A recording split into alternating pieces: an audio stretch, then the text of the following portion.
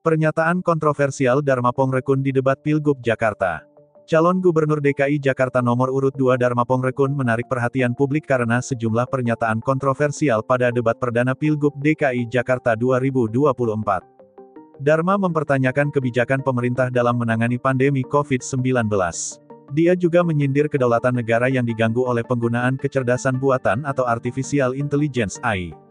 Salah satu poin yang diutarakan calon jalur perseorangan itu adalah pandemi COVID-19 merupakan agenda asing. Hal itu ia ungkap saat ditanya oleh calon gubernur DKI Jakarta nomor urut 1 Ridwan Kamil. Pak Dharma Kun, Pak Kun Wardana yang saya hormati, salah satu perlindungan terhadap SDM, yaitu tentu kesehatan. Kita pernah mengalami pandemi COVID yang sangat luar biasa. Saya andai waktu bisa diputar kembali, Kira-kira apa yang bisa kita lakukan untuk lebih baik dalam menyelesaikan yang namanya pandemi yang nauzubillah jangan sampai terulang lagi? Tanya RK pada debat yang digelar di J Expo, Kemayoran, Jakarta, Minggu, 6 per 10. Dharma menjawab, saya paham betul tentang pandemi ini agenda terselubung dari asing untuk mengambil alih kedaulatan negara.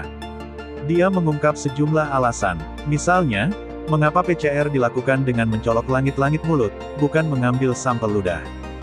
Dharma pun mengkritik pemerintah dalam menangani pandemi COVID-19. Dia menilai pemerintah justru menakut-nakuti rakyat dengan pandemi, bukan mengutamakan keselamatan rakyat. Saya percaya sama Tuhan. Bapak percaya sama Tuhan atau sama COVID-19? Ucapnya. Dharma menyebut AI sebagai alat mata-mata saat membahas soal kemandirian internet untuk bangsa. Ia menyebut selama ini internet Indonesia tak mandiri, dibuktikan dengan berbagai kebocoran data yang terjadi. Dia berpendapat globalisasi adalah dunia yang tak terbatas, tetapi penggunaan internet harus dibatasi. Lalu ia membahas penggunaan AI. Makanya dibilang artificial intelligence. Artinya apa? Alat intelijen, alat mematai-matai tanpa kita sadari, dosa kita ada semua di gadget, ucap Dharma.